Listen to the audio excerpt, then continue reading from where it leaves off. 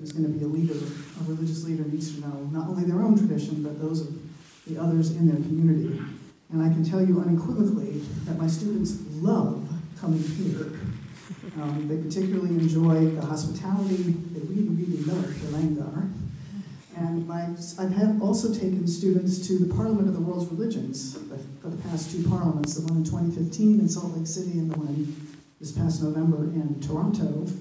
And again, my students are immensely impressed and kind of in awe of the Sikh community because of the Langar. At the Parliament, which is a big conference of eight to 10,000 people, the Sikh community does the Langar every day of the conference, and the students get to volunteer with them, and they're really ambitious. And most of my students have found that a deeply, profoundly moving experience.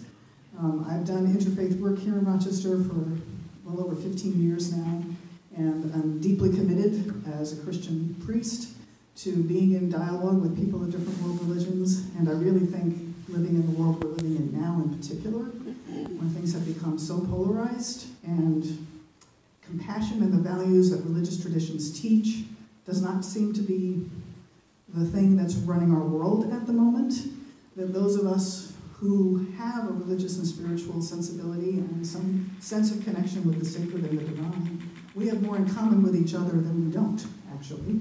And we have a great deal to offer our culture.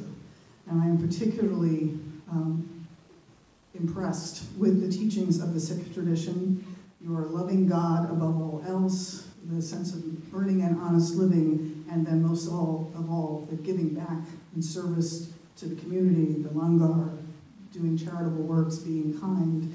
And I'm very aware that the Sikh community has unfortunately suffered a great deal of violence since 9 11, which is really, really unfortunate. And I am deeply impressed with the extent to which your deep spirituality and understanding of your own tradition has only meant that you always act in peace and always bring wisdom. And I think that you're really, really important members of the interfaith community. Um, and I know Harbit and I have been involved in interfaith stuff together for years and years. And he's talked to countless numbers of my students when I brought them over here for classes. Um, I really hope to see more Sikh people involved in interfaith because you bring a great deal of wisdom to the table and it's a voice we don't get to hear as much.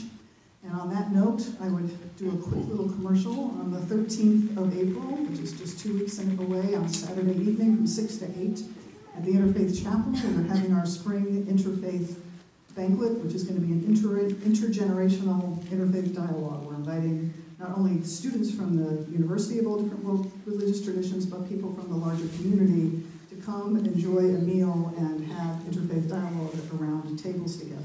So it's a free meal. It's at the Interfaith Chapel on the U of R campus, and any and all of you would be invited to come and be delighted to have the Sikh community be part of that. So thank you again for letting us come here. Please know that my students always come away from this site visit and it's like one of their favorites. They love being here. So thank you for your hospitality.